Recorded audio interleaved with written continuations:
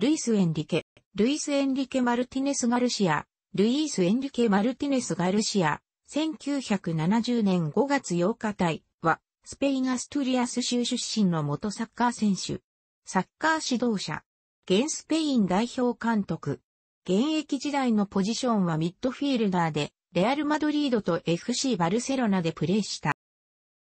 1989年に地元のスポルティング基本でプロデビュー。1991年にレアル・マドリードに移籍すると中盤のダイナモとして機能し、リーグ優勝に貢献した。1996年、起用法などをめぐって首脳陣と対立し、ライバルチームの FC バルセロナに移籍した。1996から97シーズンは主に右サイドのポジションで17得点を挙げた。同シーズンは2位に終わったが、1997から98シーズンからはリーガ・エスパニョーラに連覇の原動力として活躍し、バルセロナでの晩年はキャプテンも務めた。エルクラシコで何度もゴールを決め、プロ生活を通じてリーグ戦通算400試合に出場して102得点を挙げ、2004年8月10日、34歳の時に現役引退を発表した。同年にはペレが選ぶ偉大なサッカー選手100人、FIFA100 に選出された。1991年、ルーマニア戦でスペイン A 代表デビューし、1992年にはバルセロナオリンピックでは主力選手として活躍して金メダルを獲得した。1994年、アメリカで開催された 1994FIFA ワールドカップに出場し、準々決勝のイタリア戦では、マウロ・タソッティの肘打ちを顔面に受けて流血した。タソッティは、イエローカードさえも受けなかったが、試合後に8試合の出場停止処分を受け、その後はイタリア代表として試合に出場することがなかった。1998FIFA ワールドカップ2002 FIFA ワールドカップにも出場したが、最高成績はベスト8に止まった。UEFA 欧州選手権2008準々決勝でスペインがイタリアと対戦した際、ルイス・エンリケはリベンジの機会だと叫んだとされている。AC ミランのアシスタントコーチをしていたタソッティは、マルパ氏に、あの肘打ちは恋ではなかったのに現在でも話題にされるのにはうんざりしていると語っている。スペイン代表として3度の W 杯に出場した。現役引退後はサーフィンの練習のためにオーストラリアに移住した。2005年にはニューヨークシティマラソンに出場し、2006年にはアムステルダムマラソン、2007年にはフィレンツェマラソン、2008年にはサハラマラソン、約 230km を走るウルトラマラソンで完走を果たした。また、2007年には、フランクフルトトライアスロンに参加して完走している。2008年7月には、クラーゲンフルトトライアスロンに参加する予定だったが、FC バルセロナアトレティック監督就任に伴い、中止した。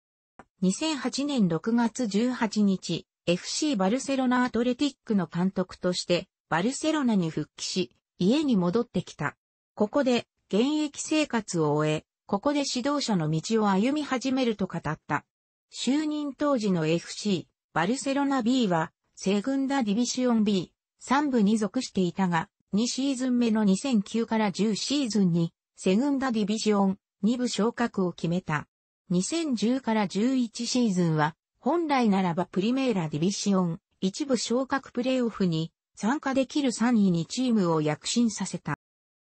2011年6月10日、2年契約で AS ローマ監督に就任した。就任当初はヨーロッパリーグ予選で敗退するなどいいところがなく、徐々に盛り返したものの、チャンピオンズリーグどころか、ヨーロッパリーグにも出られない7位という成績に終わった。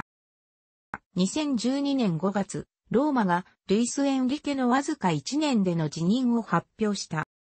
2013年6月8日、セルタ・デ・ビーゴの監督に就任。前年は降格圏ギリギリの17位と低迷していたチームを立て直し、8位にまでチームを押し上げた。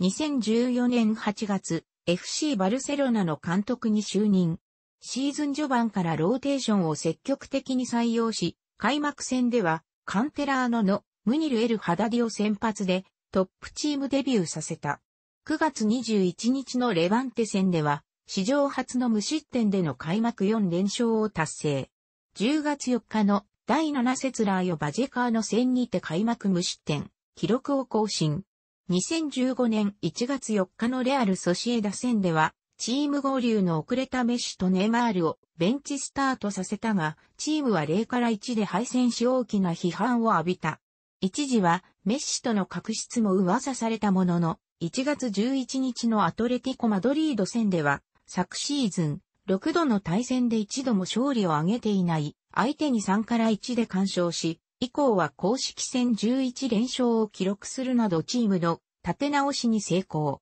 シーズン終盤には、ライバルクラブが軒並み負傷者の続出によって調子を落とす中、ローテーションの効果もあり、万全のコンディションを維持。4月21日のチャンピオンズリーグ PSG 戦では、就任50試合で42勝、勝率84%とクラブ史上最高の成績を記録した。リーグでは最終節を残してリーガ・エスパニョーラ優勝を達成。コパデルレーではアスレティックビルバオとの決勝を制してトーナメント9試合での全勝優勝を達成した。さらにチャンピオンズリーグでは決勝でユベントスを下して優勝を果たし、就任初年で3冠を達成した。シーズン勝率は60試合50勝4分6敗で83%を記録し、就任初年にて50勝を達成した史上初の監督となった。2015年6月9日、バルセロナとの契約を2017年まで延長した。11月21日のレアル・マドリードとのエルクラシコでは敵地で4から0の大勝を果たしている。2月にはバルセロナでの公式戦、通算100試合を指揮し、80勝11分9敗、282得点72失点という過去最高の成績を記録した。3月3日のラーヨ・バジェカーノ戦では、リーグ史上最多となる35戦無敗達成し、最終的に39戦無敗記録を樹立した。その後はクラシコでの敗戦をきっかけに一時調子を落とすものの、リーガ・エスパニョーラ、コパデルレイ連覇を達成した。2016から17シーズンは、スーペルコパ・デ・エスパーニャで優勝し3年目にして、全タイトルを制覇した。8月28日のアスレティックビルバオ戦にて、史上最速126試合で公式戦100勝を達成した間となった。2017年3月1日、シーズン終了後の退任を表明。チャンピオンズリーグの PSG 戦では、セカンドレグで4点差をひっくり返す、歴史的な逆転勝利を挙げた。リーグ連覇は逃したものの国王杯では、無傷の3連覇を達成し、3年で9タイトル、勝率は史上最高の76.2%を記録した。1991-10通算60-22楽しくご覧になりましたら購読と良いです。クリックしてください。